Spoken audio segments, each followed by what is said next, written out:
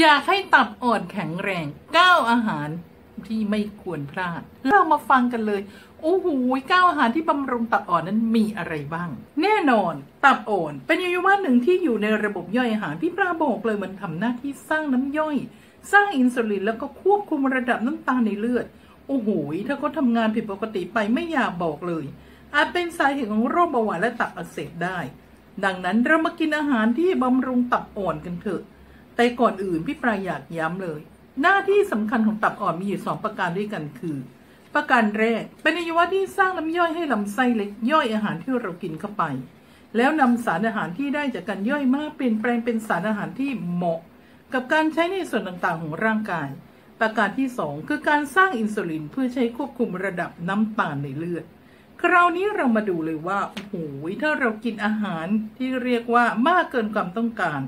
เช่นกินอาหารที่น้ำตาลสูง ไขมันสูงมาก ตับอ่อนก็ต้องทำงานหนัก และอ่านสึกสภาพได้ ซึ่งจะเป็นสาเหตุของโรคต่างๆ เช่นเบาหวาน จากการที่ร่างกายไม่สามารถจัดการกับอินซูลินได้ หรือโรคตับอักเสบ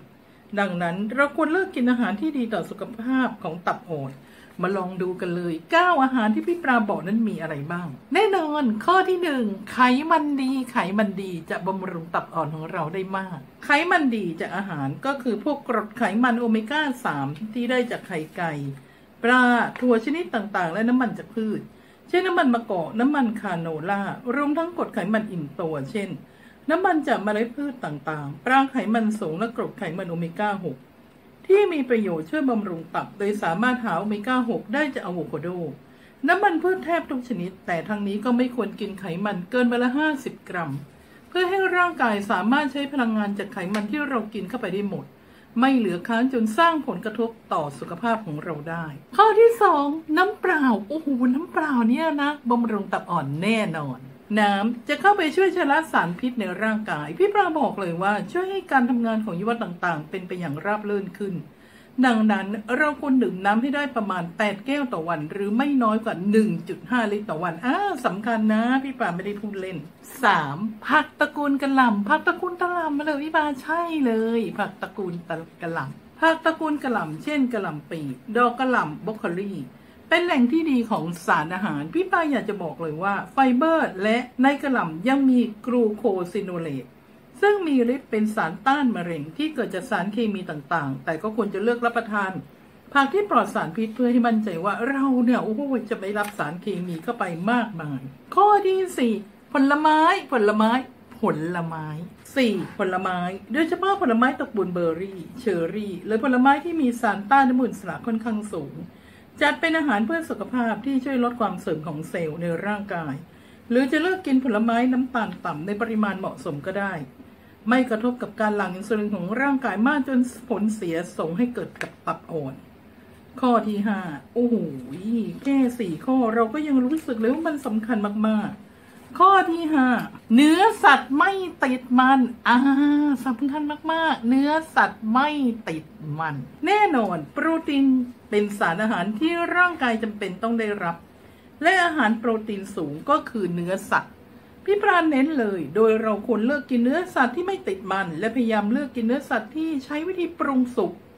ด้วยการนึ่ง ต้มหรือย่างแทนการทอด โอ้โหเพราะเรากินของทอดมากๆไขมันในร่างกายของเราจะยิ่งสูงขึ้น ข้อที่ 6 กระเทียมกระเทียมกระเทียมกระเทียม เป็นสมุนไพรที่มีประโยชน์มากๆ แล้วเชื่อไหมว่า กระเทียมช่วยบำรุงตับอ่อนของเราได้อย่างดีมาก แล้วบำรุงอย่างไรพี่ปามีคำตอบ โอ้แต่อย่าลืม ถ้าเราจะทานอะไรพี่ปรายังย้ำหรือมีสองด้าน เราต้องทานในปริมาณที่เหมาะสม ไม่ใช่ทานซ้ำๆซ้ำๆซ้ำๆ เราต้องทานสารอาหารที่มันเรียกว่าหมุนเวียนกันอะมาฟังเรื่องกระเทียมต่อ กระเทียม จากงานวิจัยและการศึกษาพบว่า คนที่ชอบกินกระเทียมมีความเสี่ยงโรคมะเร็งตับอ่อนลดลงถึง 54%เพราะกระเทียมมีสารต้านอนุมูลอิสระค่อนข้างสูง ช่วยป้องกันเซลล์ตับอ่อนถูกทำลาย และบำรุงตับอ่อนไปในตัว อีกทั้งที่สำคัญกระเทียม ยังช่วยกระตุ้นให้ตับอ่อนสร้างอินซูลินและลดปริมาณน้ำตาลในเลือด ดังนั้นพยายามกินกระเทียมสดวันละสองกรีบหรืออย่างน้อยกินกระเทียมจากอาหารได้แต่ละมื้อ เรียกว่าก็ดีเลยอ่าเรารู้แล้วกระเทียมมันดี เพราะฉะนั้นใครที่ไม่ชอบทานกระเทียมหรือเหม็นกระเทียมต้องเปลี่ยนแนวคิดใหม่ ข้อที่ 7 ถั่วอุ้ยถั่วถั่วอร่อยมากเลย แต่พี่ปาเน้นและย้ำนะ ถั่วที่เราทานไม่ใช่ถั่วที่โรยเกลือจนเค็ม ไม่ใช่ถั่วที่ไปเคลือบน้ำตาลเคลือบเนยเคลือบอะไรจนมันหวาน แล้วมันจะทำให้เกิดอันตราย นอกจากน้ำตาลในเลือดสูงแล้ว ไขมันในเลือดก็จะสูงด้วย เกิดไขมันพอกตับได้ ถ้าเรากินแป้งกับน้ำตาลมากจนเกินไป นอกจากโปรตีนจากเนื้อสัตว์แล้ว เรายังกินโปรตีนจากพืช ยังถั่วต่างๆ เช่นถั่วฝักยาว ถั่วลันเตา ถั่วหวาน ถั่วแระ ถั่วเหลือง เต้าหู้ เป็นต้น 8. นมอัลมอนด์ การดื่มนมอัลมอนด์จะช่วยให้เราได้กรดไขมันที่ดีต่อสุขภาพมากกว่าการดื่มนมวัวทั่วไป และนอกจากนี้ยังได้สารต้านอนุมูลอิสระจากอัลมอนด์เพิ่มด้วย แต่เลือดชนิดที่น้ำตาลน้อยๆ เราจะได้ไม่มีภาวะน้ำตาลในเลือดสูงกันนะคะอะที่สำคัญข้อ 9 โยเกิร์ตโยเกิร์ตหลายคนชอบโยเกิร์ตและบางคนก็ทานโยเกิร์ตเพื่อลดน้ำหนักแต่ที่สำคัญอย่าเป็นโยเกิร์ตที่มีความหวานมากจนเกินไป โยเกิร์ต จากการศึกษาพบว่าร่างกายคนได้รับโยเกิร์ตไขมันต่ำในปริมาณ 3 ถ้วยต่อวัน หรือถ้าเราทานอยู่อ่าพี่ปลาก็บอกเลยว่า ถ้าเรามีการทานโยเกิร์ตมันจะเป็นข้อดีเพราะโยเกิร์ตมีแบคทีเรียชนิดดีต่อร่างกาย ช่วยปรับสมดุลแบคทีเรียในลำไส้ลดความเสี่ยงโรคมะเร็งตับอ่อน และมีส่วนปกป้องระบบการทำงานของลำไส้และตับอ่อนได้อีกทางทั้งนี้การกินเพื่อบำรุงตับอ่อนก็ควรเลือกกินโยเกิร์ตไขมันต่ำน้ำตาลน้อยอ ย่างกรีกโยเกิร์ตหรือโยเกิร์ตรสธรรมชาติแบบ low fat จะดีมาก ๆ เลย คราวนี้เรามาดูเลยว่า โอ้โห เรารู้แล้วว่า อาหารอะไรที่เราควรจะรับประทาน เพื่อที่จะบำรุงตับอ่อนของเรา แล้วพี่ปลาคะพี่ปลาคะมันมีอาหารที่เราไม่ควรจะรับประทานไหมหรือหลีกเลี่ยง เพื่อไม่ให้ตับอ่อนของเราต้องทำงานหนักมากเกินไปคำตอบก็คือมีค่ะมี อาหารที่เราควรจะหลีกเลี่ยง เพื่อไม่ให้ตับอ่อนของเราทำงานหนักมากเกินไปมีอะไรบ้าง มาฟังกันเลย แน่นอน อาหารที่ควรเลี่ยง นอกจากอาหารที่ควรกินเพื่อบำรุงตับอ่อนแล้ว ก็ควรหลีกเลี่ยงอาหารที่อาจทำลายตับอ่อนได้ดังนี้ 1. อาหารประเภทอาหารทอดมันไม่ดีเลยทำให้ไขมันพอกตับเราเกิดขึ้นได้ง่าย ๆ 2. อาหารรสจัดทุกวันจัดเค็มจัดมันจัด 3. อาหารไขมันสูงรวมทั้งเนื้อสัตว์ติดมันและเนย 4. อาหารที่มีน้ำตาลสูงทั้งขนมและเครื่องดื่ม 5. เครื่องดื่มแอลกอฮอล์ทุกชนิด อันนี้อันตรายอยู่แล้วไม่ควรจะรับประทาน 6. ผลิตภัณฑ์จากนม หากต้องการดื่มนมควรเลือกนมไขมันต่ำหรือไม่มีไขมัน นอกจากนี้ก็ควรหลีกเลี่ยงการกินอาหารมื้อใหญ่จะเต็ม โอ้โห เพราะว่า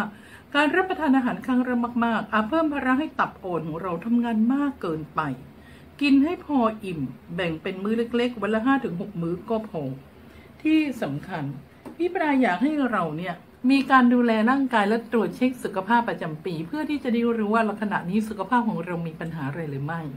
แชร์ข้อคิดเห็นแชร์ประสบการณ์แชร์สิ่งดีๆกัน แล้วมาแลกเปลี่ยนสิ่งดีๆกัน กดไลค์กดแชร์คลิปนี้ส่งต่อสิ่งดีๆท่านอื่น กดติดตามกดกระดิ่งช่อง YouTube Pretty Fish